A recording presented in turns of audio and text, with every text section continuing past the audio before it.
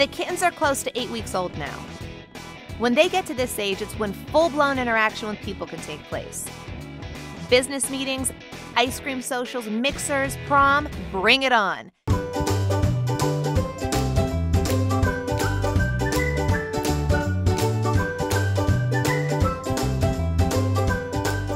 I'm Khloe Kardashian Odom, and you're watching The Litter right here on The Pet Collective. They've had their first round of shots. Their immune systems are stronger and they're able to handle contact more safely. For these kittens to find their forever homes, being comfortable with people is going to win them some big points. Interacting with kittens this age has got to be one of the greatest things on earth. They're so excited to be around people for the first time. Seriously, who wouldn't give their right arm for the chance to have some playtime with these six? Of course, then you could only pet them with one hand. There's something they've all learned they love, like really love soccer.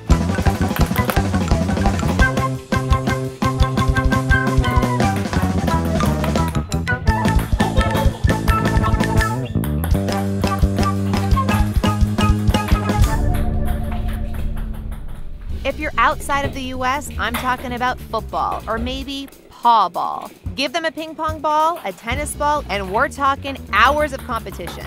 Brazil wishes they had players like this. Yes, I mean adorable, fuzzy, and with four legs, and mad skills. Look at them go.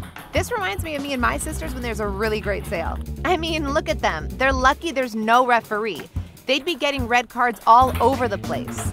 Kids, you've got the wrong sport. There's no tackling in soccer. They must be playing shelter rules or something. When they tackle and pounce on each other in pursuit of the ball, they're still building their adult predatory skills. It's all about the hunt. The ball adds a new element to their stalking and pouncing technique. Watch out, ball, they're gonna get you. Remember, it's not just fun and games. To them, it's life and death, but mostly fun and games. Next time on the litter, the kittens loot a local toy store.